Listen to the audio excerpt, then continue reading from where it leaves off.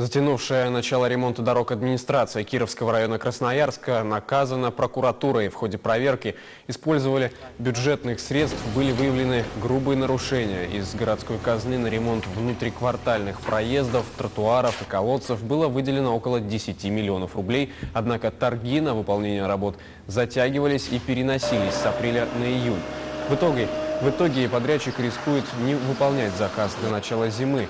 Руководителю администрации Кировского района вынесено представление, заявили сегодня в прокуратуре.